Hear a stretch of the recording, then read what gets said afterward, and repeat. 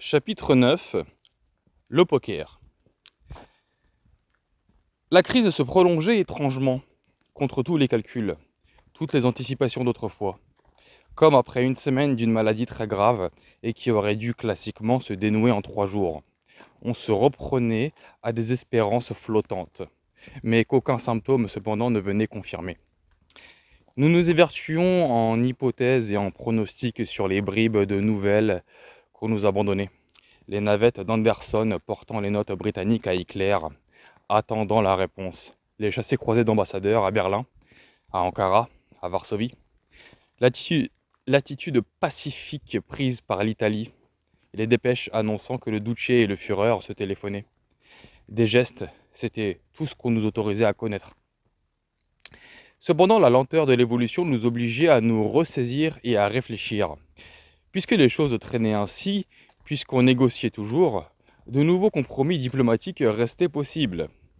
Le quai tout entier ne parlait plus que du fameux poker dont il fut en question ces jours-là. Chaque mesure militaire devenait une relance de la gigantesque partie. Le rappel de ces choses est d'un grotesque insurpassable. Mais il faut bien le dire, tout ce qui prétendait en France à être averti, à tenir sa place dans le jeu politique, était occupé à supputer le bluff hitlérien, à guetter la minute où Hitler mettrait les pouces.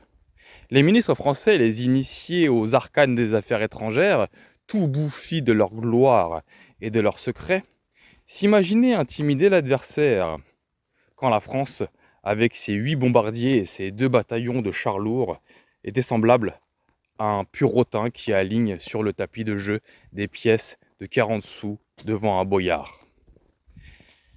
Je n'oubliais pas combien notre aide à la Pologne était problématique.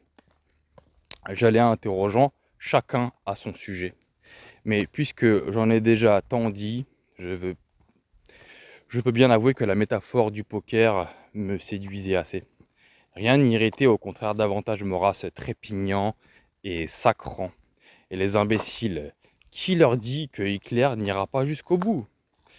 L'importance accordée aux états d'âme supposés du Führer, les interminables discussions qu'on en faisait n'exaspéraient pas moins notre vieux maître. Il ne tolérait pas que l'on pût laisser ainsi cet Allemand maître de notre sort, que l'attente de tout l'univers en suspens lui conféra un tel prestige. Il ne me le cacha pas à propos de je ne sais plus quel article de Je suis partout, dont l'auteur faisait à son gré trop grand cas des oracles de Berchtesgaden. Il me renouvela le vieux reproche de l'action française à l'endroit de notre journal. Nous avions trop souvent traité, analysé, dépeint éclair comme un personnage de taille étudier ses faits et gestes comme s'ils méritaient déférence et objectivité. Je ne pus m'empêcher de lui dire que Hitler était certainement une des figures les plus extraordinaires du siècle, et qu'il me paraissait aussi dangereux que nier de vouloir l'oublier. Cela me valut cette réponse de Maurras, qu'il ne se fut pas, j'imagine, permise devant beaucoup d'autres, et qui a son prix. Certes, L'homme est hors du commun. Le ton signifiait bien. Vous ne voudriez tout de même pas que cela m'eût échappé. Mais il était défendu de le dire. À deux ou trois jours de là, devant la dernière harangue du chancelier, Maurras s'écriait C'est un possédé. Son image de Hitler tenait certainement entre ces deux formules. Pour le bon Pujot, au demeurant tout à fait assuré que la guerre n'éclaterait pas, il avait là-dessus une forte et lumineuse pensée qu'il me confiait à peu près chaque soir. On le faisait bien rire en se demandant ce que Hitler voulait et où il s'arrêterait. Hitler était l'ours du jardin des plantes, qui jette ses griffes sur tout ce qu'on lui tend et vous arrachera le bras si vous avez le malheur de le passer dans sa grille.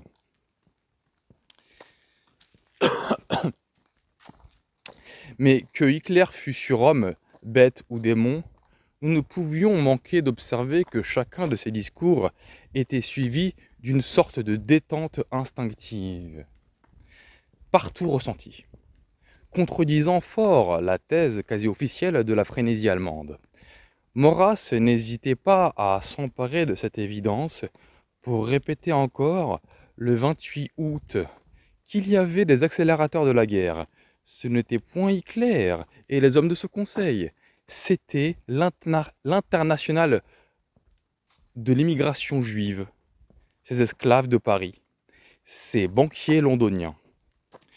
Ce sont les juifs, presque seuls, qui sont pressés dans cette affaire, tout puissants en Angleterre. Ils la poussent. Lisez le dernier discours de M. Chamberlain. Et c'est ce qui permet de redouter les dieux savent si j'avais crié à la guerre anglo-juive. Puis des scrupules m'avaient saisi devant une aussi sommaire explication. Je voulais qu'elle ne fût plus accessoire, mais il fallait y revenir. Si révoltant que ce fût pour l'esprit, c'était essentiel. J'essayais de penser encore que, puisque c'étaient là les ennemis de la paix, nous avions quelque chance de les voir flérir, de les voir fléchir. Nous saurions en tout cas à quoi nous en tenir. Minime satisfaction que nous ne pouvions même pas faire partager. Les objurations de Maurras étaient aussi dérisoirement solitaires que celles d'un vieux saint au milieu d'une orgie. À ses côtés même, toute l'action française pieuse et bourgeoise s'effarouchait, s'interrogeait à voix basse, ne le suivait plus. Je fréquentais assez souvent chez un personnage fort typique de cette espèce, possédant sur Maurras un étrange ascendant, et dont le nom importe peu ici. Il logeait confortablement rue de Marignan. Je vis entrer, ce devait être le 28 août, un familier de la maison, un monsieur catholique de la grosse banque, qui apportait des nouvelles catastrophiques pour la paix avec un visage rayonnant d'enthousiasme. Rayonnant d'enthousiasme.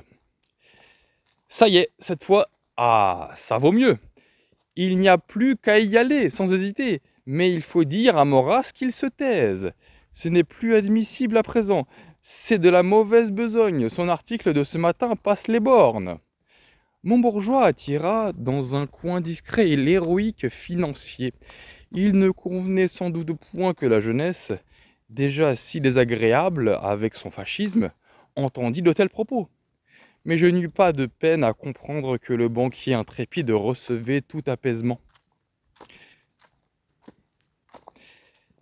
On l'assurait que les incartades du vieux maître n'avaient plus aucune importance, et que tout serait fait pour le remettre dans le droit chemin dès qu'il serait nécessaire. Maurras, du reste, était en train de nouer lui-même le baillon sur ses magnifiques clameurs, quelques heures avant, pour être plus libre en face de son papier, pour laisser courir sans scrupule sa plume. Il venait de réclamer la censure. Il se déchargeait ainsi de sa responsabilité sur l'État, en ruinant ce qui lui restait de pouvoir. Le soir même, son article lui revenait caviardé aux trois quarts. Nous étions bien désormais livrés, bouche cousue et membres ligotés, à notre sort. La meute des confrères, les ignobles confrères que trois ans plus tard aucun châtiment n'a encore frappé, pouvaient prêcher sans qu'aucune voix ne vînt troubler son unisson. La résistance au bluffeur Hitler piétinait toute velléité de négociation et criait joyeusement que mieux valait en finir.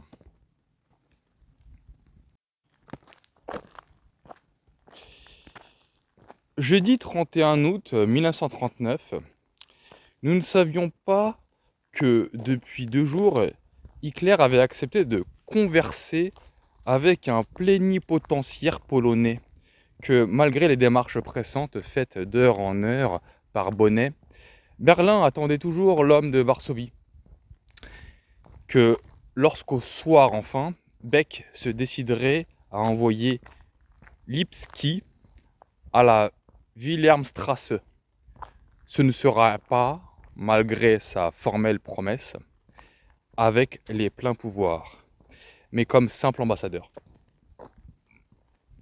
Nous ne pouvions pas savoir à quel point tout était perdu parce que l'Angleterre avait décidé la guerre, que depuis huit jours, elle pressait la mobilisation de ses vassaux du continent pour qu'il ne fût plus possible de revenir en arrière, pour que le désarmement de ces énormes masses devienne une condition de pourparler irréalisable et qu'elle allait donc poser.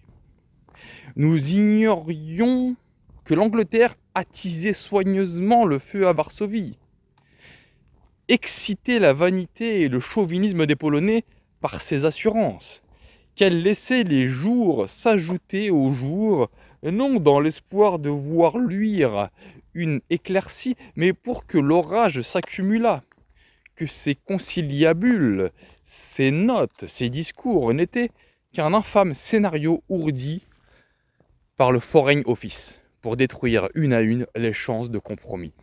Couper à l'un et l'autre parti toute retraite. Refuser à Hitler toute autre solution que le coup de force. Attendre l'irréparable en ménageant à l'impérialisme britannique d'hypocrites alibis. On étalait devant nos yeux l'irascibilité de la presse allemande. Mais on nous cachait qu'à Londres, tous les journaux étaient autant de brûlots, que Chamberlain était sommé de passer à la guerre par 40 millions d'insulaires déchaînés. On ne nous dissimulait pas moins on ne nous dissimulait pas moins soigneusement que la paix était là si nous la voulions saisir, que Mussolini, conscient, lui, de tout ce qu'il allait perdre dans cette catastrophe, offrait, comme un an avant, son entremise à la France et à l'Angleterre, que Bonnet avait déjà rédigé l'acceptation de la France, mais que Londres, lorsque son tour viendrait de décider, ferait savoir à 11 heures du soir que ses ministres dormaient, que leur repos était auguste et qu'ils ne pourraient point répondre avant le lendemain. L'expérience de Munich avait sinistrement servi, et les bellicistes connaissaient le danger pour leur fin de révéler au peuple ses grands espoirs. Ils entendaient cette fois protéger l'abominable secret des complots où dix hommes jouent avec la vie et la mort de dix millions d'êtres et conduisent librement leur affreuse manœuvre. Toutes hâtées pour la guerre, toutes ajournées pour la paix. Penchés sur nos dépêches fumeuses et laconiques, nous ignorions tout cela et les glorieux baudets porteurs des confidences rares n'en savaient pas plus long. Vraiment, que savions-nous? Les frontières du pays étaient verrouillées, l'armée, la population entière sur le grand pied d'alerte, la presse musclée, les journaux étrangers devenus introuvables. C'était cela que, huit jours plus tard, on appellerait la claire résolution du peuple français. Malgré tout, dans le vide de cette cloche pneumatique, il nous restait encore l'usage de nos pauvres endettements enfiévrés. Non, une politique de bonne foi ne s'entourait pas de tels nuages et d'un tel silence. La longueur même de la crise nous, en, nous renseignait. On ne nous ferait jamais croire, alors que tant et tant d'heures nous étaient laissées, que l'Europe pouvait glisser aussi lentement vers la mort, sans qu'aucun remède ne surgît. Dans la soirée du 31, quelques lumières sur la proposition italienne avaient fini par percer. Deux ou trois âmes ingénues, encore pleines de souvenirs de Berlin, se demandaient pourquoi on n'en claironnait pas à grand fracas la nouvelle. La nuit tombée. J'étais à la censure, dans le tohu-bohu assez déshonorant de l'hôtel continental. On caviardait à tour de bras, dans toute la presse, les moindres allusions à la démarche de Mussolini. Je comprenais trop bien. Deux heures plus tard, je griffonnais dans mes notes. Je croyais dépasser nos théories de septembre dernier sur la guerre juive et l'Angleterre, sur la guerre juive et anglaise.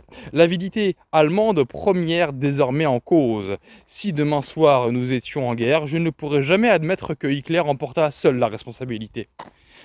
Le sentiment de voir la France s'engager dans une telle aventure avec un gouvernement aussi piteux mettait le comble à notre angoisse. Maurras ne se cachait pas de professer pour Daladier le mépris et la méfiance que j'avais depuis toujours. Il me disait, ce soir-là, l'homme n'est pas méchant, mais médiocre. J'ajoutais, échauffé, il n'a aucune idée. Il manœuvre en parlementaire rompu à ses opérations pour écarter ceux de ses ministres qui en ont ou pourraient en avoir. N'oubliez pas que Daladier et sa cour, c'est le café du commerce, pas de Martigues, mais de Carpentras. Nous persévérions depuis dix jours dans l'ahurissante fiction qui consistait à tenir pour un homme d'honneur cet écœurant poivreau, à le conjurer de liquider enfin la clique communiste en but à une indignation générale. Nous venions d'obtenir la saisie de l'humanité et de ce soir. Mais nous ne savions pas que les fameux missionnaires de Moscou, Max Imans, l'ambassadeur Magyar, Doumank, le malin à trois étoiles, venaient de débarquer apportant au ministre la conviction que la Russie nous aurait rejoints avant trois mois.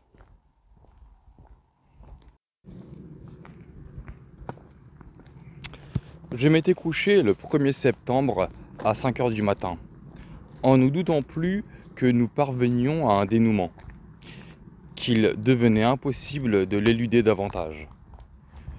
Je n'avais pas de radio. Vers midi et demi, je ne savais rien.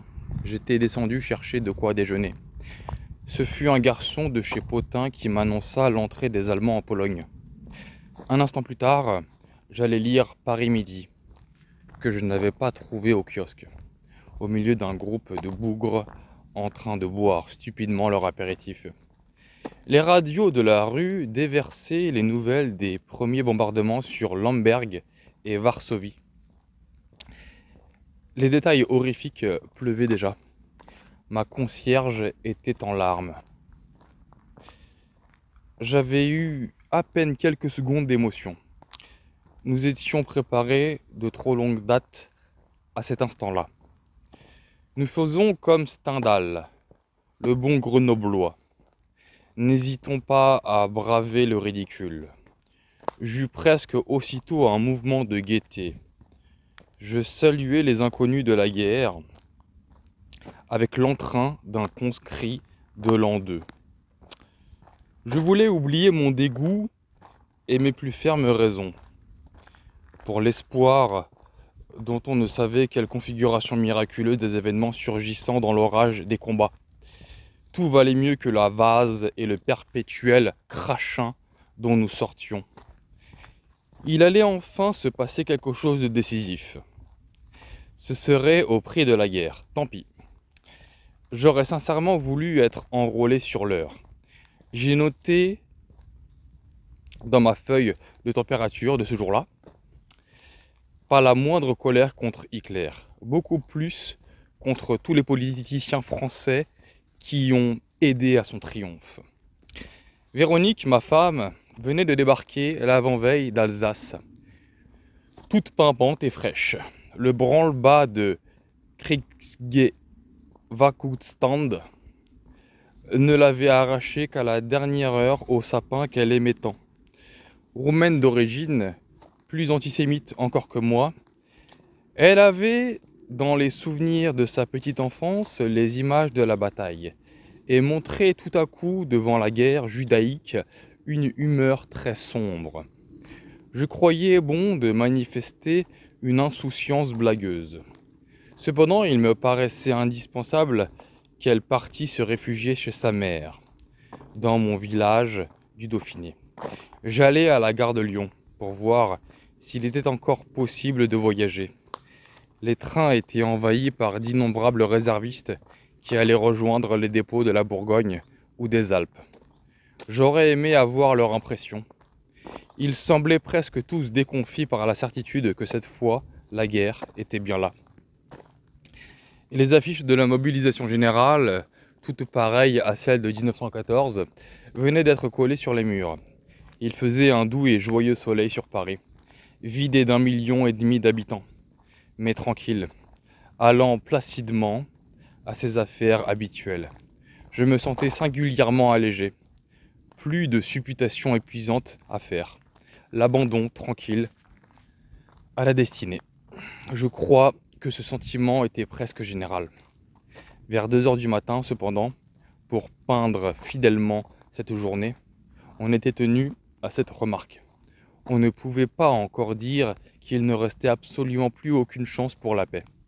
Il nous semblait bien que les Allemands n'avaient forcé la frontière polonaise qu'avec des détachements prudents, comme s'ils voulussent d'abord s'assurer des gages, puis amorcer des pourparlers, l'arme au pied, sur leur nouvelle possession. La censure avait coupé fort bizarrement toutes les dépêches sur la proclamation de la neutralité italienne. Cela fâchait-il donc toujours les antifascistes qu'ils n'avaient imaginé de bonne guerre que sur toutes nos frontières à la fois? Le matin même, l'ordre avait paru avec ses lignes du vendu buré. À l'heure actuelle, la preuve est irréfutablement fournie par l'Allemagne elle-même que toute sa politique repose sur le bluff et qu'il suffit de lui opposer une détermination résolue pour qu'elle hésite et recule. Le lendemain matin, l'éclipse du bon sens était achevée. On se retrouvait devant une interminable journée d'ignorance et d'incertitude à vivre, sous ce ciel de chaleur lourde et voilée qui est celui des grandes mélancolies de Paris. Ma jactance de la veille me faisait honte. Je songeais que les Juifs n'avaient sûrement pas oublié dans le calcul de la guerre, de leur guerre, ces bouffées de chaleur du vieux sang arien. Tant d'années passées à haïr les Juifs, à dépister leurs ruses, et les rabbins me faisaient encore marcher au clairon. Mais le trou de ces heures vides avait bien cassé cet élan. De nouveau, le calme et le silence de la capitale m'apparaissaient sinistres. Le jour sonnait enfin de cette grande levée contre l'éclairisme si violemment attendu, si fanatiquement prêché et exigé, annoncé par tant de fanfares frémissantes, mais parvenu à l'accomplissement de leurs vœux. Les chefs de la démocratie française faisaient flanelle devant le formidable saut à exécuter. Leur langue bavarde restait collée de peur à leur palais leurs jarrets coupés se dérobaient. On aurait voulu croire encore que cette morne et muette pause était remplie dans la coulisse par les négociations d'un gouvernement bien tardivement atteint d'un légitime effroi, qu'elle avait pour raison les suprêmes chances de paix? Mais nous nous penchions sur cette dépêche que le temps avait publiée la veille, avec ce blanc de la censure. Le ministre, des Affaires étrangères a remis à l'ambassadeur d'Italie à Paris la réponse du gouvernement français à l'offre que lui avait adressée hier le gouvernement italien. Fort avant dans la nuit, une autre dépêche nous était parvenue. Le gouvernement français a été saisi hier, ainsi que plusieurs gouvernements d'une initiative italienne tendant à assurer le règlement des difficultés européennes. Après en avoir délibéré, le gouvernement français a donné une réponse positive. On comprenait trop aisément que cette nouvelle n'était lâchée qu'à regret. Tout commentaire en était interdit. Qui l'eût osé d'ailleurs? Les quelques têtes demeurées valides revenues comme la mienne de leur étourdissement d'une heure, n'avait pas beaucoup de peine à pressentir un sinistre mystère, mais le percer était une autre affaire. Je dois encore parler de toutes nos ignorances. Il ne peut en être autrement dans les souvenirs d'une aussi honteuse du prix.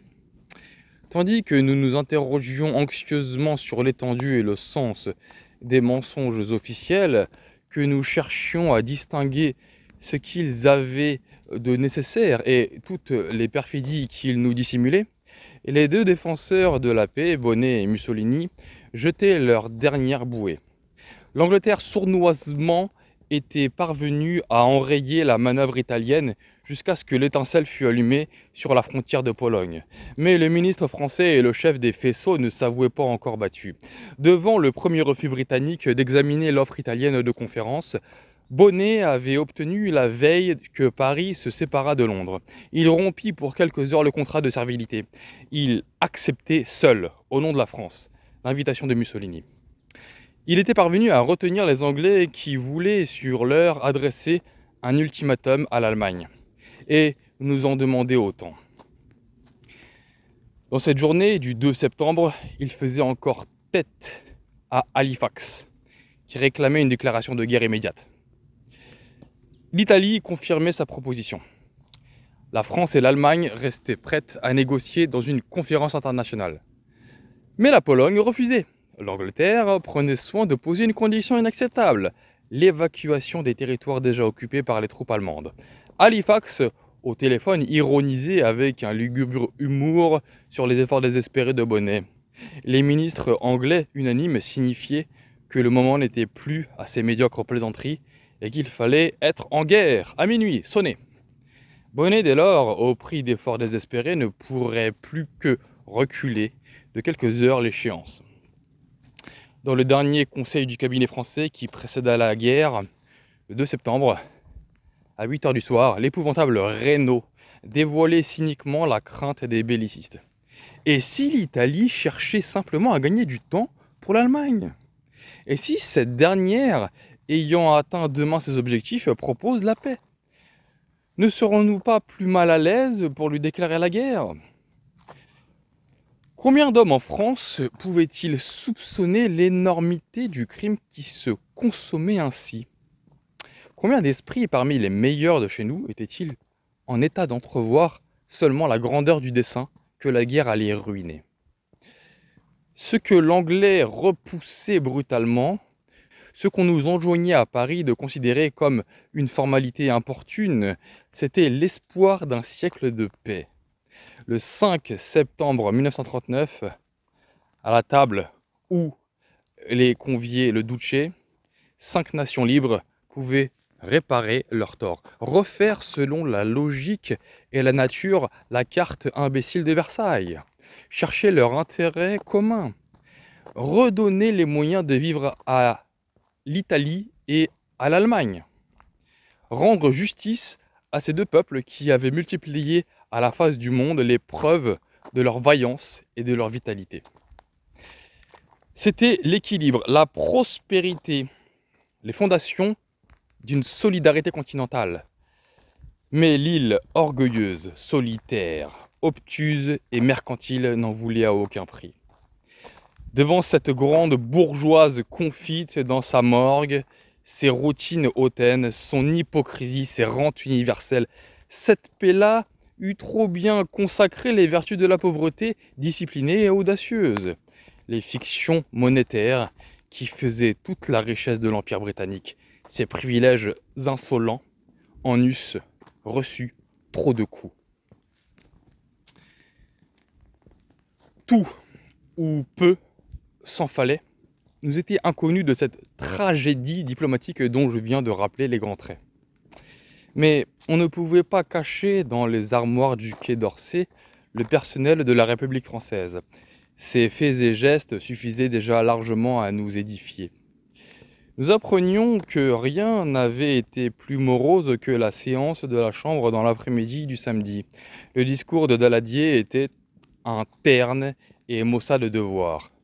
On nous dépeignait l'homme effondré après les rodomontades des jours précédents.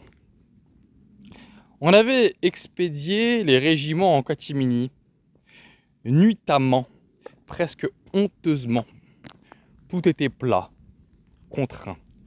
Au milieu de cette funèbre torpeur, la presse, hormis l'action française, éjaculait de dégoûtante façon un patriotisme de septuagénaire et de cabotin.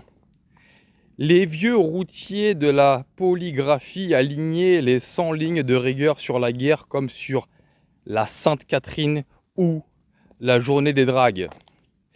Le colonel comte de la Roque venait de proclamer qu'il fallait désormais choisir entre le barbarisme et la civilisation on le voit, le colonel Comte n'avait pas pour sa part hésité un instant.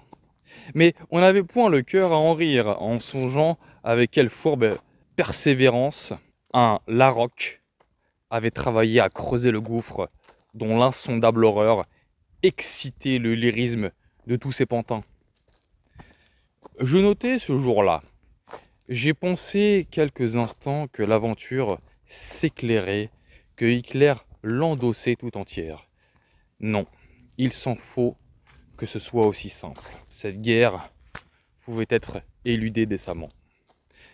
Avant même d'avoir commencé, elle est déjà morose et quotidienne. Je me battrai volontiers pour participer à une grande œuvre, pour démembrer l'Allemagne, pour faire profiter mon pays d'une éclatante victoire. Mais les auteurs français et anglais de cette guerre sont de bien piètres personnages pour d'aussi vastes desseins. L'Angleterre du moins s'engage pour arrêter un autre impérialisme que le sien. C'est sa politique traditionnelle. Elle a l'habileté de n'en pas assumer les premiers risques. La séance des communes d'aujourd'hui sur la conscription à petite dose et d'un égoïsme, d'un sinistre prodigieux.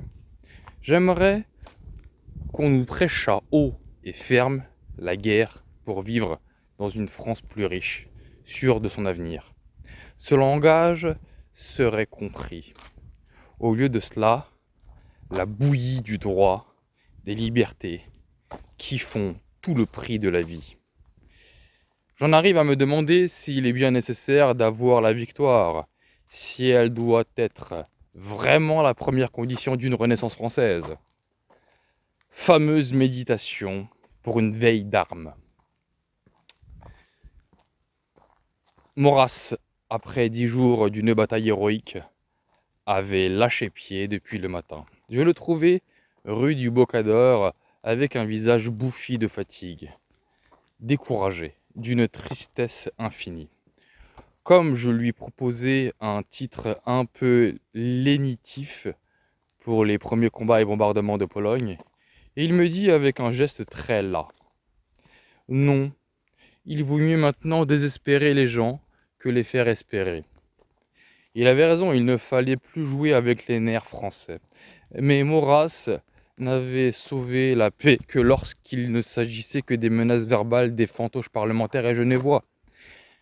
Devant la volonté anglaise, il ne lui restait qu'à rengainer son couteau de cuisine, sa dialectique et sa liste des 140, dont il n'avait même pas soufflé mot.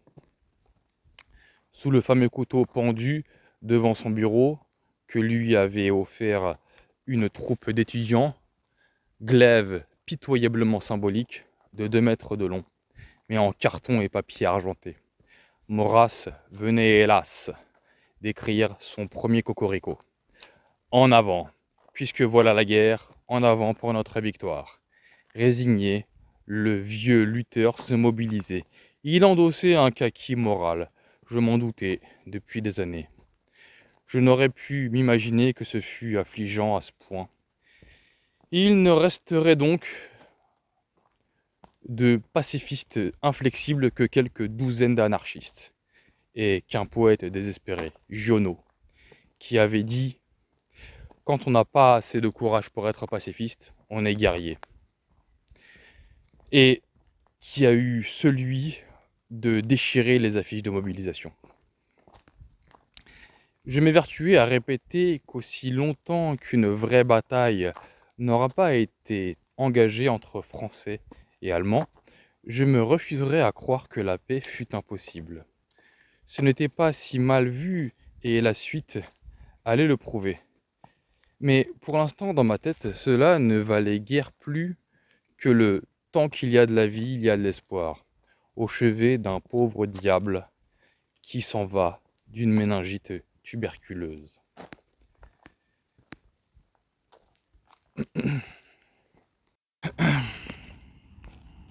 Chapitre 10 L'escalier de service. Carnet du fascicule bleu Lucien Rebatté. Dimanche 3 septembre 1939, midi. L'Angleterre a déclaré la guerre à l'Allemagne à 11 heures. Nous allons suivre sans retard bien domestiqué. C'est l'Angleterre qui aura été pour nous l'instrument immédiat de ce grand malheur. Voilà un citoyen qui devient décidément raisonnable et qui se fortifie dans quelques convictions dont on ne le délogera plus de sitôt. Il fallait être bien sot, bien naïf, bien férocement bourgeois ou peint en tricolore d'une couche de poncif diablement solide pour ne point se trouver du même avis que lui. Depuis le début de la crise, toute initiative diplomatique appartenait à l'Angleterre. La France n'avait fait qu'obéir passivement. Dans notre minuscule cénacle, nous nous étions constamment indignés depuis deux jours, en ne jugeant que d'après les démarches officielles et avouées.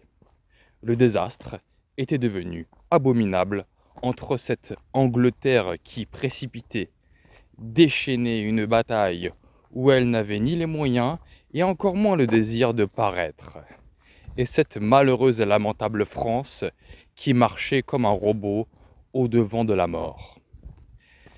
Nous entrions dans la guerre par l'escalier de service, traîné en laisse par le maître de Londres, poussé aux épaules par ses laquais de Paris. Sur les Champs-Élysées, la foule citadine, animalement fidèle à ses habitudes, énorme troupeau inconscient de son grotesque, s'écoulait béatement à plein trottoir. C'était la guerre sans doute, mais c'était avant tout dimanche, un dimanche où il faisait beau. Les femmes en robes joyeuses s'arrêtaient aux vitrines, convoitaient longuement un sac ou un chapeau, et les hommes, à dix pas, attendaient en tirant leur montre. Dans vingt minutes, nous serons en guerre. Aux terrasses des cafés, entre deux gorgées de pernode, on interrogeait d'un coup la pendule.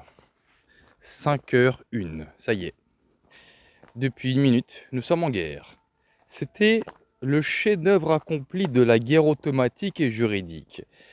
Dans un peuple parvenu à l'état idéal d'abouli et d'abêtissement. Les plus sensibles et les plus audacieux se murmuraient à l'oreille. Ah non, en 1914, c'était tout de même autre chose. La nuit tombée me retrouva avec trois compagnons. Thierry Molinier, en uniforme de lieutenant d'infanterie, Pierre Boutang, qui allait être sous-lieutenant dans un mois grâce au privilège normalien, et le Benjamin de Je suis partout, Claude Roy, premier jus, blond et bouclé, que pour mon extrême remords, j'avais fait incorporer un an auparavant à Versailles, dans les chars. Ce joli quatuor d'intellectuels était fort préoccupé à se tâter, s'ausculter, contempler la tête, qu'ils pouvaient bien faire pendant qu'ils étaient en train de vivre l'histoire. Nous n'éprouverons rien de très notable, ou peut-être de reconnaissable. Nous confessions ce phénomène. Nous en étions un peu vexés. Nous nous arrêtâmes dans un petit bar américain du boulevard Saint-Germain. Molnier avait posé son képi près de lui. Un joli chaton noir, étonné et grave, vint sans façon s'asseoir dedans et se faire cajoler. C'était un présage de chance, la première chose douce et charmante de ce jour. Celle, sans doute, qui nous touchait le plus. Moulnier faisait le serment solennel de ne rien écrire sur cette guerre idiote. Il emportait dans sa cantine un nouvel essai sur Racine que Gallimard venait de lui demander. Nous dressions la liste de nos pactages littéraires. Boutang, qui ne distinguait pas un sergent d'un colonel, parlait d'emmener une bibliothèque de campagne qui aurait bien rempli trois caissons d'artillerie comme nous tous, va nu tête depuis toujours. Il disait aussi C'est drôle, mon premier chapeau, ce sera un casque. Dans les ténèbres de la rue, nous nous mîmes à chanter des chansons de route, parce qu'il était réjouissant que quatre garçons du pacifisme le plus désabusé fussent à peu près les seuls à chanter la belle guerre, et qu'ainsi dans notre souvenir, l'absurdité de l'événement serait irréprochable. Il a la barbe rousse, les poils du cul châtain.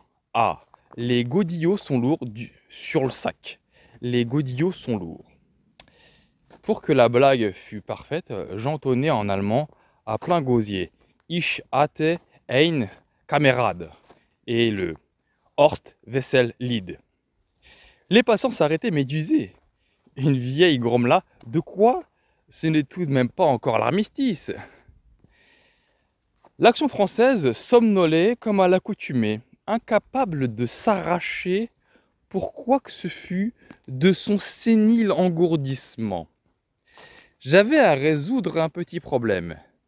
Nous bouclions depuis plusieurs mois pour la province.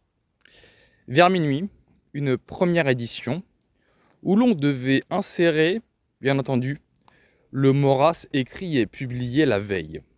Cela pouvait aller en général tant bien que mal. Mais un jour comme celui-ci, je m'en ouvris à Pujot en lui demandant si Moras ne corrigerait point son article. Mais voyons, quelle idée, me dit-il. L'article est bon tel quel. Pourquoi cette question? Puis il fourragea dans sa barbe, médita deux bonnes minutes, et rassemblant ses souvenirs. Ah oui, c'est vrai, depuis, il y a eu la guerre. Maurras venait d'arriver. J'avais une excellente nouvelle à lui transmettre. L'annonce de la neutralité plus que bienveillante de la Turquie, les Dardanelles ouvertes, notre liberté de manœuvre en Orient. En somme, le premier bel atout dans notre jeu. La dépêche était datée, bien entendu, d'Ankara. Maurras, avant d'avoir lu un seul autre mot, cogna sur sa table et de son air le plus froid. Jeune homme, vous savez pourtant que je tiens à cela. Combien de fois faudra-t-il vous le répéter C'est une tradition dont il faut vous souvenir. Ici, nous sommes en France. Nous employons les vocables français et d'une plume appliquée, il corrigea Angora. Mais la soirée était aux bonnes nouvelles. Bientôt, nous apprendrions que l'Italie laissait toute grande ouverte ses frontières avec la France et annonçait avec pompe cette décision. On brandissait la dépêche avec de grands gestes. Nos imaginations échauffées y voyaient déjà le présage d'une heureuse trahison.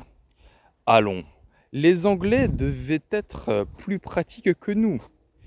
S'ils avaient hâté à ce point la guerre, c'était sans doute qu'ils possédaient quelques solides assurances du côté romain. Des émissaires accouraient glorieux, certifiant que l'Italie, tout en proclamant sa neutralité, offrait libre passage à nos troupes sur son territoire. Un superbe mouvement tournant se dessinait devant nos yeux car on songeait encore à des mouvements tournants. De toute façon, les épileptiques et l'antifascisme et de la guerre sur chaque frontière n'avaient plus qu'à rengainer leur plan de nouveaux rivoli.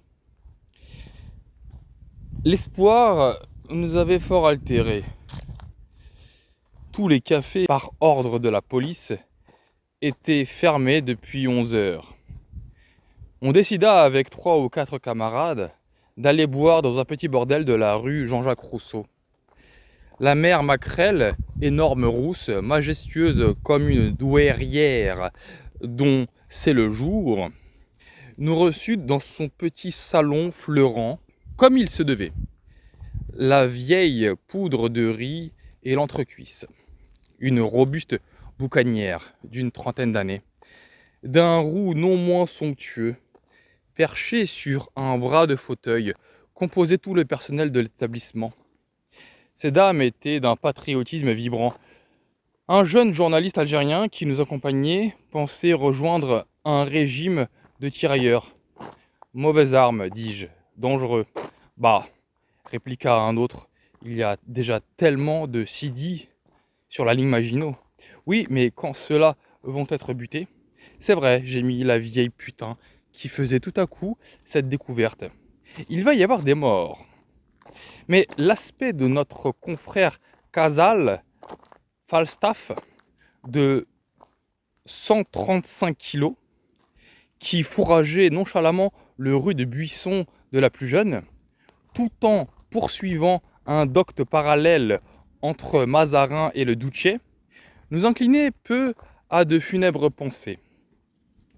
On discourut longuement, d'un ton de grande cérémonie, sur les mantules respectives des gras et des maigres, sur le cou en glissette, sur le cou en chapeau. La digne Macrel conduisait le débat du haut de sa vaste expérience. La jeune ayant entrepris en virtuose la braguette du cadet de la bande. Nous estimâmes bien séant qu'il honora sa couche, ce qui fut fait en bonne forme. Nous nous sentions la belle conscience dans cette première nuit de guerre de ceux qui viennent d'accomplir un rite immémorial. L'action française s'imprimait avec cette manchette. Cette fois-ci, ne la manquons pas.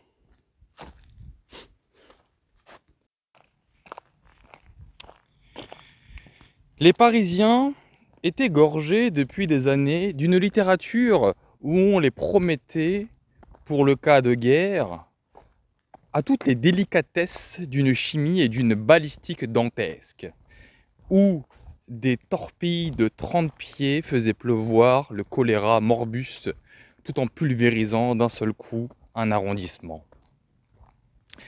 On confrontait ces belles prophéties avec ce que l'on apprenait des bombardements en Pologne.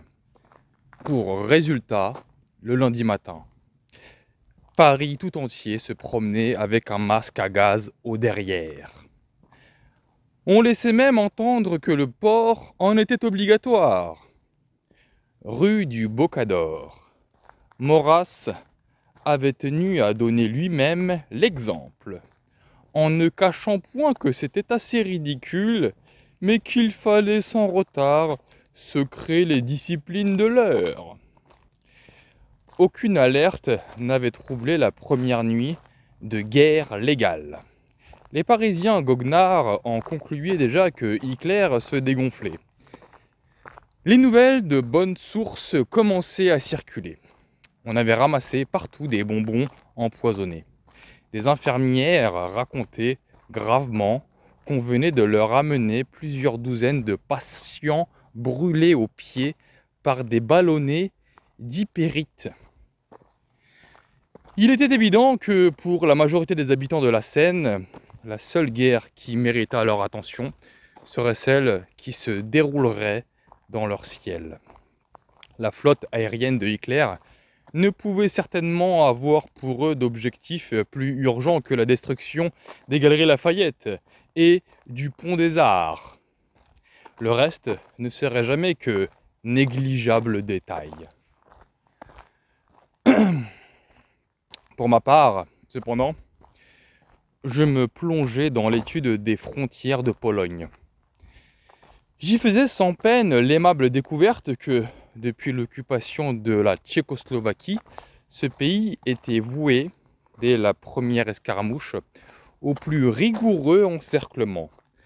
Ma plus grande stupéfaction était qu'à ma connaissance, il ne se fût pas rencontré un stratège, un journaliste, un homme politique, pacifiste ou belliqueux, pour s'en aviser depuis une année écoulée, que je n'eusse pas entendu durant tout ce dernier mois une seule allusion à cette aveuglante certitude. À notre insu sans doute, nous restions tous sur des images de l'autre guerre, avec des fronts aussi biscornus que possible, et demeuraient toutefois plus ou moins inviolés.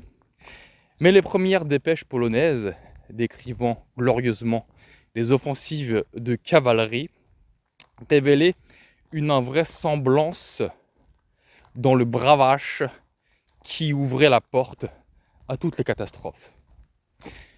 Déjà, je me repentais d'une ou deux minutes cocardières où j'avais cru utile de renseigner gaillardement quelques troupiers qui, du reste, s'en tamponnaient l'œil.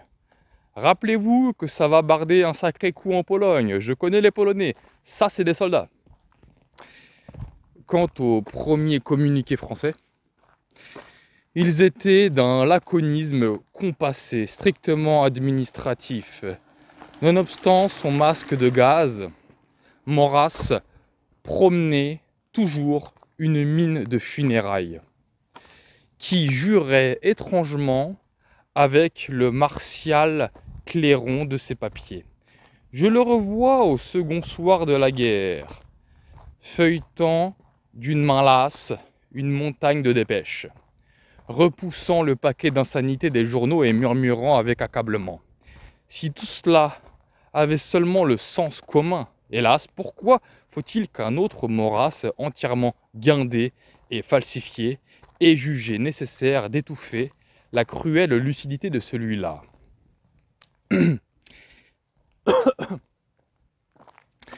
J'étais allé faire connaissance avec la censure. JT rue Rouget de l'Isle, à l'hôtel Continental. Des messieurs costumés en capitaine de corvette, en commandant de chasseurs à pied ou de cuirassiers, trônaient et s'agitaient aux quatre coins de cette énorme garnie aux meubles fatigués et vulgaires sentant le mégot, déjà souillés comme si cinq générations d'étudiants eussent ciré leurs chaussures au rideau. Cette nuit-là, je venais de m'endormir, un peu avant 4 heures. Les sirènes de la première alerte retentirent. On avait eu tout le temps de s'y préparer. La surprise n'en était pas moins fort désagréable. Des quantités d'exercices de la paix nous avaient habitués à ce ululement. Mais à cette heure louche, trouant les ténèbres et le silence, il était à souhait apocalyptique. Dans son lugubre crescendo surgissaient soudain toutes les menaces de l'inconnu. Toute l'horreur nocturne du Tosquin sonnant à la catastrophe est décuplée par la machinerie du siècle. Je pris soin de noter candidement sur mon cahier cette minute qui pouvait être historique et je descendis à tâtons de mon sixième. Le vestibule de ma bourgeoise maison était rempli d'une bousculade confuse. Dans l'ombre, des flics vociféraient, brandissaient le poing. Ceux qui ne descendent pas à la cave y seront, pour moi, des suspects. On avait la brusque révélation d'une race nouvelle, les chefs d'îlots, honorables sexagénaires chargés de manifester leur patriotisme en jouant aux caporaux en veston parmi leurs contemporains, et qui se ruaient avec enivrement hagard. À un aussi délicieux devoir. Un troupeau humain s'empilait dans le corridor de la cave, le nez au mur la concierge poussait des clameurs entrecoupées de sanglots. À la lueur d'une lampe électrique, j'aperçus un capitaine de colonial, blanc comme un spectre et qui claquait des dents. Je regrimpais bien vite, écœuré à mon perchoir.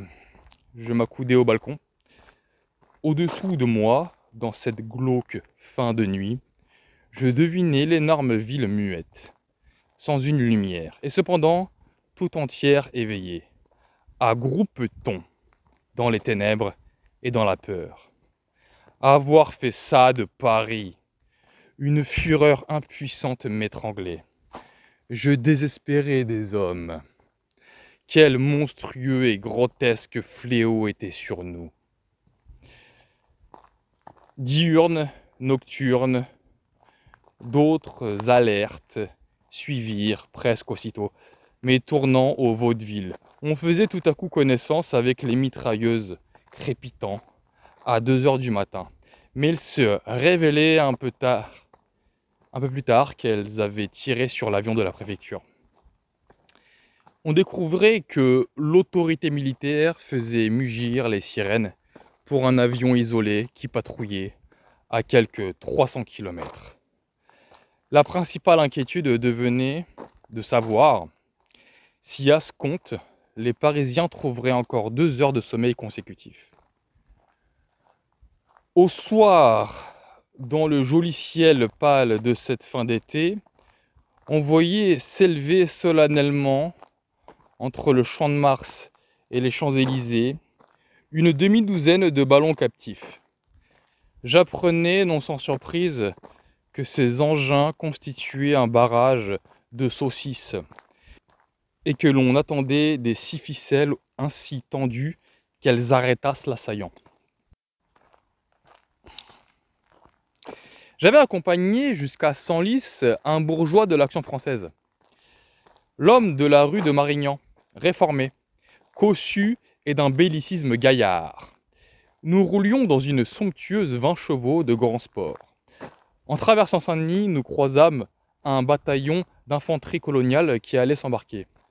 Les troupiers paraissaient déjà harassés, suant sous le barda de campagne et les cuirs battants neufs.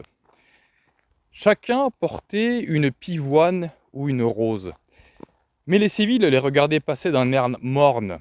Il n'y avait aucun attroupement, on ne pouvait partir plus platement pour la guerre. Je songeais aux premiers tués, ceux qui font des cadavres en ceinturon jaune et en capote au pli tout neuf. Je me penchais, j'esquissais un signe amical vers les marsouins. Mon bourgeois m'arrêta précipitamment en donnant un énergique coup d'accélérateur. Un mot dru aurait pu répondre à notre bel équipage et nos mines florissantes. Les gens convenables n'acclamaient pas de si près le prolétariat guerrier. Nous refaisions la route où avait galopé en 1914, en septembre 1914, les avant-gardes allemandes. Une borne à l'entrée d'un petit sous-bois indiquait la pointe extrême de leur avance. 20 km de Paris, 15 minutes de rapide. De là, les cavaliers de Van Kluck avaient pu voir les toits de la banlieue. D'un peu plus haut, la tour Eiffel. Je me saturais de ces pensées. J'avais un petit frisson rétrospectif. Mais mon compagnon, très désinvolte, souriait à ses souvenirs anachroniques. À Senlis, nous allâmes rendre visite au père supérieur des maristes, à qui mon patriote devait bientôt confier son fils.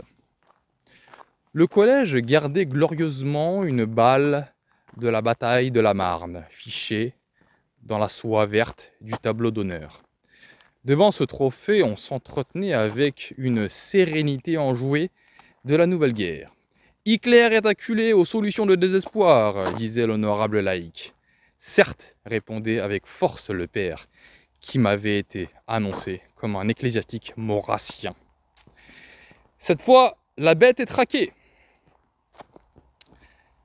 En attendant, ce fauve aux abois tenait assez bien la campagne. Le même soir, j'essayais de tracer une ligne des opérations de Pologne sur la carte, en vérifiant mes repères avec les noms du dernier communiqué de Varsovie. Je vis que je m'étais trompé partout de 15 lieues au détriment des frites. Leur avance, en moins d'une semaine, atteignait 200 km. À l'heure qu'ils étaient, ils devaient se battre aux portes de Varsovie. Je notais, la Pologne apparaît fichue, de la Prusse orientale, de la Slovaquie. Les Allemands peuvent la prendre de travers, de revers, selon leur bon plaisir. Une rouge colère me montait des yeux. L'incurie, l'anarchie slave ont certainement joué un rôle capital dans ce désastre. Tous les généraux sont des politiciens. Conduire au feu plus d'un million d'hommes est certainement une tâche très au-dessus de ces orientaux romanesques. Brouillon, bravache, d'une incommensurable vanité. Le nom de Végan, qui les tira d'affaire en 1920, est exécré dans ce pays. Nous avions choisi cette Pologne pour ligne de résistance au germanisme à l'Est. C'était une politique, mais il fallait que la ligne existât, qu'on y travaillât, il devait être naturel de dire aux Polonais, si vous n'acceptez pas secours et conseils, nous nous désintéresserons de votre sort. Bonnes âmes, nous en étions encore à nous figurer qu'une mission militaire française bien conditionnée, avec breveté de l'école de guerre et technicien des chars, aurait sauvé les Polonais. Les éminents stratèges qui, depuis une semaine, avaient occupé leur emplacement de combat, dans tous les journaux, conservait devant cette déconfiture un magnifique sang-froid. La mémoire de Joffre et de Foch habitait leur âme. Leur dicter le mot de la situation. Pas d'affolement. De quoi s'agit-il? Ces hommes, étincelants de science, se chargeaient de découvrir le sens du recul. Car, bien entendu, seul le profane ignare pouvait conclure Les Polonais foutent le camp. Monsieur Lucien Romier, prince des économistes, se révélait un imbattable virtuose dans cet élégant vocabulaire où toujours l'ennemi s'efforce, tente, esquisse. Il concluait, inaugurant le plus solide truisme de cette guerre. Qu'en somme, les Allemands avaient un sérieux retard sur leur plan. Le général Duval, retroussant crânement ses manches, devant les deux rubriques quotidiennes et les deux hebdomadaires qui l'accablaient du coup de presque autant de copies que M. Paul Rebout, décrivait la position d'arrêt prévue par les Polonais et où ils allaient opposer une résistance définitive. M. Henri Bidou comprenait tout sans peine. L'armée polonaise se retirait méthodiquement pour atteindre la ligne historique des quatre rivières où les Russes jadis avaient tenu cinq mois. Monsieur de Givet, dans l'ordre de l'estimable Buret, nous rappelait d'opportune façon que les Polonais n'avaient pas porté leur principal effort d'armement sur le matériel lourd. Ils ont surtout recherché la mobilité, développant leur, développant leur matériel léger et entraînant leurs troupes au maximum de souplesse. Cela suffit à indiquer que, de toute façon, l'état-major polonais entendait faire une guerre exclusivement de mouvement. On ne pouvait certes point y contredire en mesurant le chemin que venaient de parcourir ces troupes en moins de huit jours. Monsieur Jean Giraudoux, poète promu ministre de l'information française, dédaignait cette arithmétique et cette géométrie vulgaire des batailles par la voix de la radio. Il venait d'inspirer à 40 millions de Français des raisons élevées de contempler sans pessimisme la carte de notre allié. Il énumérait honnêtement les conquêtes allemandes, le couloir, Katowice, Poznan, Cracovie. Mais il nous annonçait que ces succès étaient fort prévisibles et en somme négligeables, parce que les Polonais avaient résolu de défendre ces territoires mal situés, d'offrir leur résistance dès le premier mètre carré de leur sol, pour ne pas abandonner le premier pouce de leur territoire puisqu'il était le premier territoire attaqué de la liberté humaine. Je n'en croyais pas mes oreilles. J'avais relu trois fois le texte. Monsieur Giraudoux était bien formel. L'écrivain le plus délié des lettres contemporaines nous donnait comme réconfort la certitude que les Polonais venaient de commettre la plus lourde bêtise en se battant sur le pire terrain, dont par surcroît il se faisait déloger en un clin d'œil un goitreux de montagne en fut resté béant. Mais Jean Giraudoux développait sa thèse. Jérôme Bardini, en face des Panzerdivisionen, flanqué du diplomate confit dans la plus parfaite orthodoxie démocratique. Pourquoi l'état-major polonais avait-il accepté une bataille perdue d'avance? Les raisons sont simples. C'est que les Polonais sont comme nous ils ne font pas la guerre allemande, ils font ce que nous avons fait en 1914, ce que nous allons faire, une guerre personnelle. Ils font leur guerre, la guerre polonaise. Ils pensent que dans la façon même de se battre, il y a une morale. Ils pensent que la guerre elle-même a des devoirs de symbole et d'enseignement qui lui permettent d'être fructueuse et victorieuse au-delà de toute contingence le tiers du pays perdu, l'invasion, la retraite à toutes jambes. Monsieur Giraudoux voit vraiment les choses de haut, du domaine des purs esprits. Nous n'avons pas adopté en matière stratégique les principes de la guerre hitlérienne. Ah, pour cela, nous l'avons supérieurement démontré. Puisque la guerre nous est imposée. Nous ne la réduirons pas à une équation de poudre d'acier et d'hypérite. Monsieur Jean Giraudoux nous aura offert ce soir-là l'exemple accompli d'un intellectuel mis en face d'une besogne impossible et indécente, qui pense s'en tirer par des acrobaties, des entrechats littéraires, de subtils paradoxes, et termine son exercice, la tête la première, dans un bourbier d'absurdité. On aura beau dire, cela compte dans une carrière. Les grosses caisses des journaux tonnaient en l'honneur de Rids le victorieux, Rids Smigli, le grand général aquarelliste. À l'action française, Maurras s'évertuait à croire que les Polonais jouaient au plus fin, qu'ils se donnaient le temps d'achever, de préparer leur ligne. Le bon monsieur Pujot, vieil enfant barbu, avait la foi pure des douze âges, que j'offusquai fort en lui annonçant que les Polonais étaient cuits qu'il n'avait même pas été capable de livrer une bataille proprement dite. Peugeot pensait bien au contraire que Ritz Smigli emmenait les Allemands dans une nasse et qu'au reste, la prochaine saison des pluies arrangerait tout. Pour moi, si j'étais furibond du contraste entre la jactance homicide de ces maudits slaves et leur piteuse déconfiture, celle-ci m'inspirait aussi une satisfaction secrète. Je n'arrivais pas à éprouver le moindre regret devant leur déroute manifeste, mais plutôt une sorte de bizarre et vengeur plaisir à voir le triomphe de la force habile et dirigée, de la seule cause qui me fut intelligible. Quant au peuple, il suivait d'un œil très détaché cette aventure lointaine dont il ne rapportait à soi aucune récompense, aucune conséquence. Il conservait l'œil sec devant les proses les plus flamboyantes d'épithètes pathétiques et justicières sur Senstokowa et autres lieux. Il faut dire que cette littérature ne respirait qu'une médiocre sincérité. Seuls quelques archivistes conserver un souvenir de la polonophilie romantique.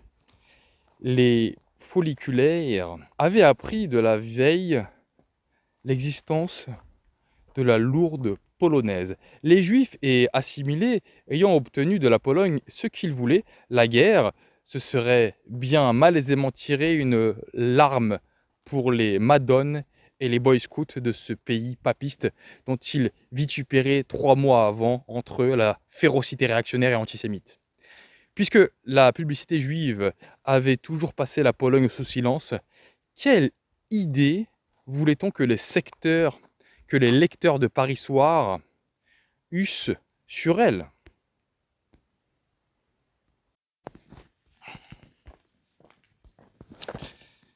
J'étais nanti depuis l'année précédente. Je l'ai dit, d'un fascicule de mobilisation bleue. J'ignorais tout des catégories militaires à quoi correspondait ce carton, sinon qu'il m'assurait quelques répits. Je ne doutais pas qu'avec mon âge et ma santé, ce délai pût aller au-delà de trois ou quatre semaines. Mais les circulaires m'apprenaient qu'il n'en était rien. La phalange des fascicules bleus constituait apparemment une réserve privilégiée, admise à garder ses pantoufles et à hanter ses lits conjugaux en attendant l'heure incertaine où il lui faudrait boucher les trous.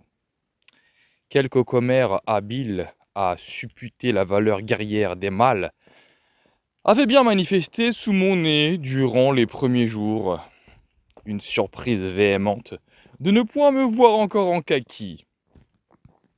Le nombre des civils jeunes et florissants que l'on croisait à chaque pas dans Paris eut bientôt raison de ces petites manifestations. Mais mon fascicule bleu me causait de nouveaux tracas. J'avais ce goût un peu particulier d'aimer l'armée et je sens que la déroute elle-même ne m'en a pas guéri. Non point, il s'en fallait de tout, que j'eusse rapporté de mes chefs militaires une image prestigieuse. Mais j'affectionnais le soldat. Je gardais de mon service au 150e d'infanterie en Rhénanie un souvenir délicieux. Le temps assez bref de ce service, trop bref pour que je prisse même le moindre bout de galon, n'y était sans doute point étranger. Non plus que la vie d'amateur en treillis que j'avais su m'organiser dans notre caserne de Dièse sur la Lanne, laquelle était une ancienne école de cadets prussiens. Il m'emporte. Et les capitaines, les commandants étaient tous autour de moi d'anciens sous-offs de la Marne ou de Verdun, bornés à des gaines de gendarmes sur le penchant de la retraite. Mes adjudants s'étaient révélés conformes aux plus solides traditions. Mais leur sévice pesait bien légèrement dans ma mémoire, au regard de la chiourme ecclésiastique où l'Inquisition et la férule des pères avaient tyrannisé pendant quatre ans mon enfance.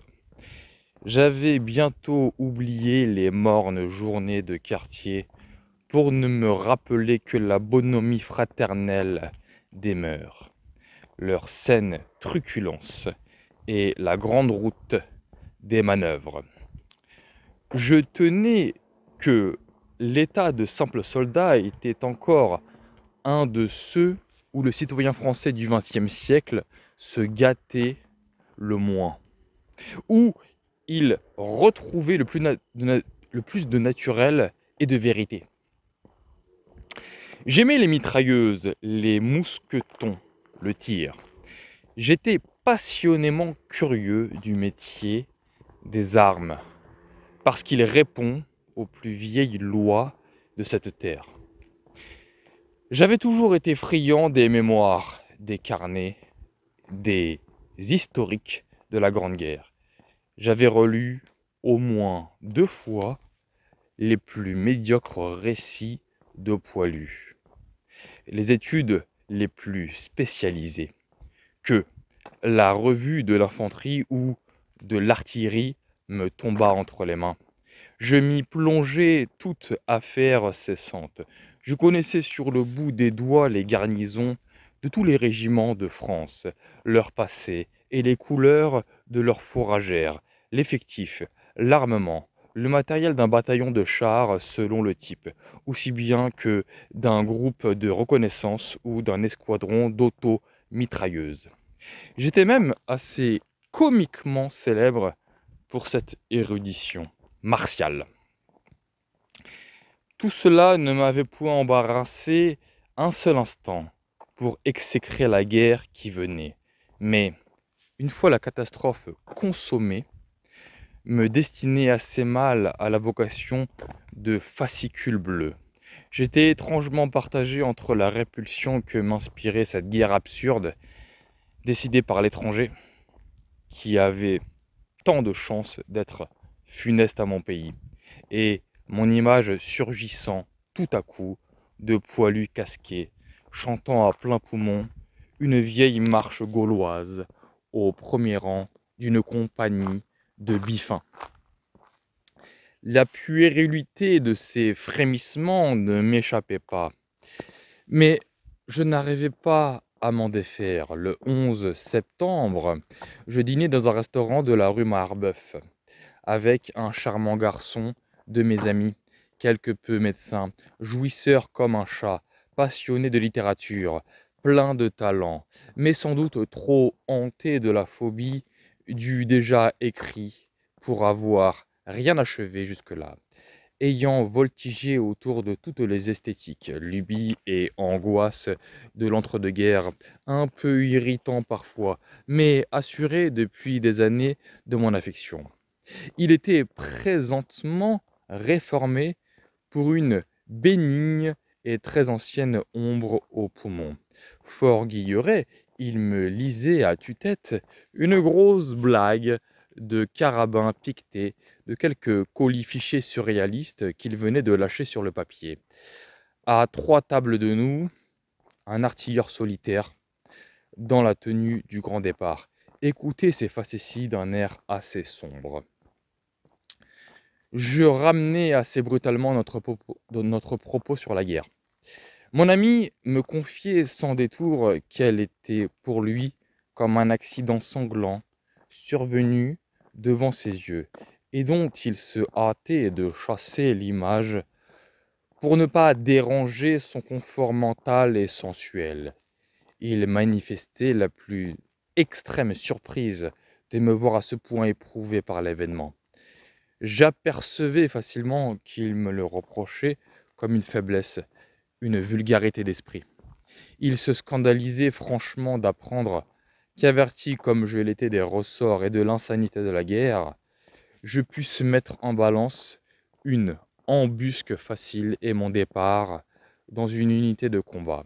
Il ne concevait pour lui et pour les hommes de quelque mérite qu'une seule attitude, tourner résolument le dos à cette affreuse bourrasque et évoquer le printemps avec sa volonté.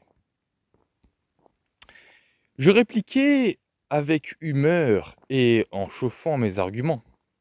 Je découvrais mieux leur sincérité et leur force. Je pensais depuis toujours, comme le dragon Stendhal, que le baptême du feu était la perte d'un pucelage aussi nécessaire que l'autre.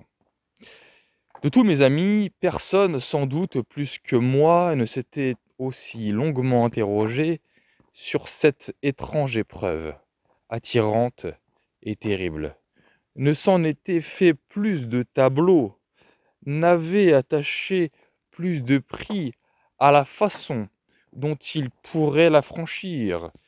Si je devais rester seul à l'ignorer, ce serait une singulière lacune pour un mortel de notre aimable siècle. Quelle que fût la guerre, elle valait d'être vécue et méditée en soi. Je ne saurais m'y dérober sans être infidèle à ma Weltanschauung et à mon propre tempérament. Les lecteurs me pardonneront ce petit croquis psychologique.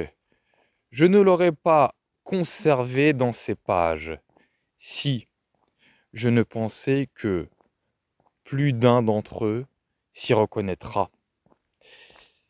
Il montre assez bien, en tout cas, quel curieux circuit notre vieux sang de race militaire pouvait parcourir pour brouiller les têtes les plus positives. Mais la démocratie nous rappelait bientôt qu'elle avait abattardi jusqu'à la guerre. Pour la Pologne, les vieux généraux à stylographe s'accrochaient encore à des espoirs de manœuvre, voulaient découvrir que l'armée de Ritz Smigli avait l'avantage de la concentration. Et dans leur incapacité à percevoir même la forme de cette guerre mécanique, juger les offensives allemandes décousues. Leur encre n'était pas séchée qu'ils avaient déjà deux jours de retard sur le cyclone motorisé de la Wehrmacht. On ne savait ce que les Panzers pulvérisaient le plus vite, leur pronostic ou les derniers fétus de bataillons polonais. Existait-il encore seulement un Ritzmigli Cependant, le Conseil suprême franco-anglais, avec Chamberlain, Daladier et Gamelin tenait sa première séance et annonçait, en héroïque fanfare, la réunion du Conseil suprême a complètement confirmé la ferme résolution de la France et de la Grande-Bretagne de consacrer toutes leurs forces et toutes leurs ressources au conflit qui leur a été imposé. Elles sont décidées à donner à la Pologne, qui résiste avec tant de bravoure à l'invasion brutale de son territoire, toute l'assistance en leur pouvoir. Dans le moment où l'univers apprenait ses chevaleresques serments, les Allemands, ayant conquis en 12 jours la moitié de la Pologne, dépeçaient et concassaient toute son armée, franchissaient la Naroux et la Vistule en poussant devant eux les informes débris de la déroute. Le dernier carré polonais s'enfermait pour l'honneur avec une semaine de vivres et de munitions dans Varsovie complètement investie. En guise de secours, le vaillant Gamelin commençait d'écorner quelques petits postes d'avant-garde sur la ligne Siegfried. Pour les Anglais, ils se prévalaient d'un glorieux raid aérien sur l'Allemagne, où ils avaient bombardé le peuple avec 3 millions de tracts anti-hitlériens. Il est vrai qu'une nouvelle alliée rejoignait notre camp. D'une chambre d'hôtel londonien, par la bouche de l'intrépide M. Bénès, la Tchécoslovaquie venait de déclarer la guerre à l'Allemagne. Toute l'assistance en leur pouvoir, les démocraties tenaient parole. Cette fois, elles avaient tiré le glaive flamboyant du droit et de la morale, exécuté la terrible menace. Pourtant, le résultat valait celui des solennelles protestations et des condamnations juridiques. Chaque jour qui passait écartait un peu plus notre grande terreur. L'armée française jetée en masse pour rien à l'abattoir sur la ligne Siegfried, il semblait bien que l'état-major reculât devant cette suprême folie. C'était la sagesse, mais aussi une sagesse piteuse, un aveu lamentable d'impuissance, le soulagement que l'on éprouvait ne nous dissimulait point le grotesque de notre posture. Nous nous posions en gendarmes du monde, mais la maréchaussée démocratique flanquait des coups de bâton sur un mur d'acier, tandis que derrière ce mur, après l'avoir élevé tout à loisir, les brigands perpétraient leurs 119 coups en parfaite quiétude. Nous ne faisions pas la guerre, nous la singions. Il fallait que le régime nous réservât cette dernière surprise, si fort que nous puissions le mépriser. Nous avions imaginé la guerre dans une tragédie à quoi il essayerait au moins de se hausser. La guerre était, la guerre était survenue et il dévalait encore beaucoup plus bas. La grande alarme, l'état de siège, la censure servaient à resserrer les plus infâmes confréries maçonniques, à exécuter une entreprise inespérée de dédouanement. Toute la canaille de 1936 du Front populaire, des loges, des synagogues, ayant enfin muselé ses adversaires au nom des devoirs sacrés, se réinstaller hardiment dans ses fonctions et ses prérogatives. En un tour de main, la censure était devenue une annexe de la Ligue des droits de l'homme et du Grand Orient. Depuis 15 jours que le canon tonnait, la grande affaire de nos hommes d'État avait été le remaniement du cabinet que les circonstances permettaient de s'offrir, sous la couverture rituelle de l'Union nationale. On avait pu remettre ainsi en circulation le nom de Léon Blum dans la liste des ministrables, sans que le plus menu souffle d'opposition se levât. Le grand ministère tricolore s'était constitué enfin par la rentrée en scène d'une des plus burlesques nullités, d'un des plus stupides malfaiteurs de la République, Yvon Delbos. Georges Bonnet, le seul homme raisonnable de la veille, se voyait limogé. Et l'on offrait son fauteuil à l'échine d'une venimeuse et obtuse crapule, le belliciste chrétien Champetier de Ribes. Choix particulièrement opportun. Il ne nous restait plus d'autre liberté de manœuvre diplomatique que du côté de Mussolini. Champetier des Ribes, antifasciste haineux, en exécration à Rome, claquait derrière lui la porte italienne à grand et insultant fracas. La bande traîtresse et imbécile du Quai d'Orsay raffermissait son pouvoir. Nous sommes depuis 15 jours, écrivais-je, dans une guerre de politiciens. Et les pires dont notre affreux régime est accouché, nous avons été entraînés dans cette tragédie par tout le poids, avec tout le poids de leur ignorance, de leur bêtise, de leur sectarisme. Lancés dans les gouffres, nous ne parvenons pas à nous débarrasser de ce boulet pour remonter à la surface, être libre de nos mouvements, voir clair. Nous réunissons toutes les conditions pour descendre jusqu'au fond. Quand on brossait devant eux ce tableau politique et qu'on s'en indignait, d'honorables imbéciles représentants d'une légion de citoyens répondaient. Peut-être, mais nous ne voulons savoir qu'une chose, la France est en guerre. Dites donc plutôt, tas de cornichons, quel est allé se fourrer le plus stupidement du monde la tête sous le coup près? Le vrai devoir patriotique serait de découvrir un moyen de l'en tirer. Nous étions quelques-uns à savoir que ce moyen ne pouvait porter qu'un nom, la paix, et que cette paix n'allait point tarder de nous être offerte par le chef victorieux du Reich. Je notais le 17 septembre dans mon cahier ces qu'on me permettra de recopier avec une légitime satisfaction. Avec la clique sanglante qui nous mène en trébuchant et bafouillant à d'affreuses catastrophes, le moindre mal serait certainement de répondre aux prochaines propositions de paix de Hitler. S'attaquer au germanisme, le réduire à merci, c'était fort bien. Mais la compétence, le sectarisme des politiciens ne nous le permettent pas. Puis notre retraite serait un échec de tailler à créer un remous intérieur terrible pour le régime. Beaucoup d'espoir pourrait renaître. Et cet échec ne serait pas, malgré tout, une défaite militaire ou une saignée fatale. Mais je savais trop bien que ces conséquences même rendaient purement chimérique une telle issue. Il n'était dans le pouvoir d'aucun citoyen de mettre en œuvre ce patriotisme pacifique.